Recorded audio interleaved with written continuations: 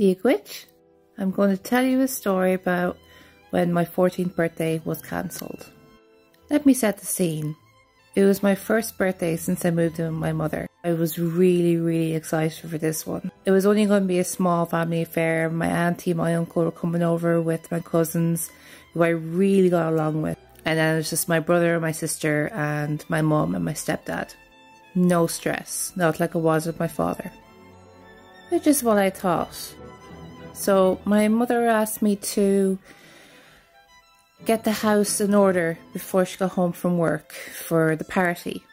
And she's a bit of a clean freak, so I assumed that she meant like hoovering, polishing, cleaning, that kind of thing. And yeah, I was expected to do all that stuff because I always said yes, and my brother and sister always said no, so I was always expected to do that. Moving on, because I was so excited, um, me and my sister and my brother kind of messed around for most of the day. I did get the bathroom cleaned, I did have the living room polished, and I did make sure that the dining room was tidy. But by the time my mother came home, I didn't have the floors washed and I didn't have the hoovering done. I told her that there's still time before my auntie and my cousins are coming over and I'll do it now. No dice. Yeah, she was not happy. So right there and then she rang up my auntie, told her that the birthday party is cancelled and not to come over. She threw out all the party supplies into the bin and the birthday cake and all the treats and she kept my mobile phone that I was supposed to get for my birthday for herself. She sent me up to my room for the whole day on my birthday. I spent the whole day crying on my 14th birthday, locked in my room. My sister felt sorry for me. She stayed up with me. She stayed with me the whole day. And then when my parents went to bed, when my stepdad and my mother went to bed, my sister left the room and she came in about 10 minutes later with a cupcake and a lit candle on top. And I'll be honest with you, I'll never forget that act of kindness. It was, I actually smiled at a time where you know, it wasn't really a smiling time.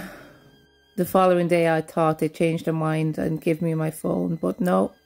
My mother had already switched over her SIM card to my phone, my new phone, and um, basically was just shoving it in my face. My birthday present from my auntie was a gift card to her own salon. She she's self employed. She has no employers. She has a salon in her garage. And she gave me a gift card for it. She's my godmother. Do you think maybe she could have like spent a little bit of money on her? On me, I mean. And just to add, a few months later, um, we started, we got back to normal again. And I brought the gift card over to my auntie's and I was like, can I, um, can I cash this now? Can I, you know, get stuff done to my hair and stuff? She goes, Oh, it's it's uh expired.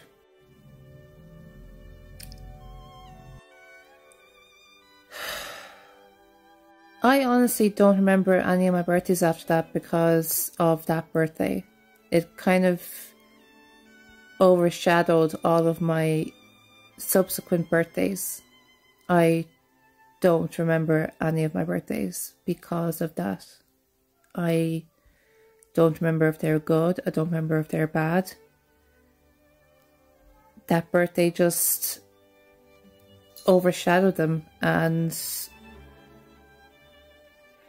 so that was the first of many bad omens when I moved out of my father's house and into my mother's house thinking I was going to have a better life. Oh, how wrong I was. Anyway, I thought I'd vent. Very depressing, but a nice act of kindness by my sister. We don't get on now, but I still appreciate it. Narcissistic parents, am I right? Slán.